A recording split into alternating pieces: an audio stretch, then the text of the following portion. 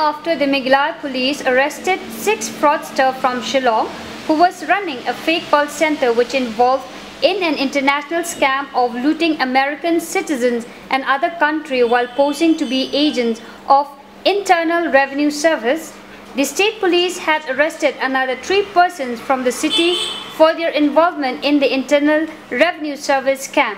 They have been identified as Christopher Korba, 23 years of age, of Lawsohtun, and manager S.K. Kiran Damai, 39 years of age, of Digboi, Dibrugarh, who employed of SS Netcom, mobilizer, and Nikki War of Jayal while Kurba and Damai was arrested in connection with the IFA Enterprise Call Center. War is the owner of MS the Sanma Enterprise Call Center.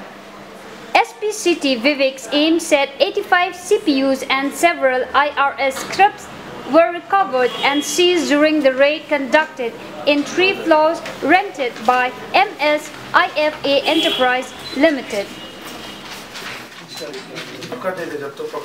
This is girlfriend's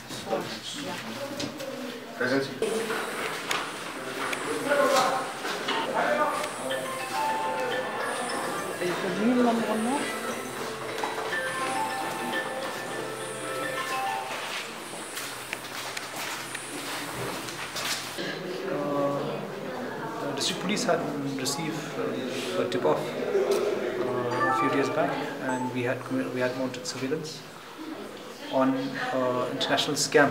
It is called uh, Internal Revenue Service scam, whereby people from call centers, uh, unscrupulous people from call centers, would call up American citizens and uh, threaten them to pay their taxes. And this money, gullible American citizens would uh, pay this money, and which is transferred through different ways, like uh, in the form of hawala and all that. And uh, these two centers have been run from uh, Shillong. Uh, we have busted two places, uh, their residence, and we have recovered a huge number of incriminating documents, the scripts, whereby they read out to American citizens, and also the DVRs, which contain all the uh, software whereby they communicate to the American citizens, whereby they cheat them. They pose as Internal Revenue Service agents and uh, make them pay that money. So it's a big cheating scam.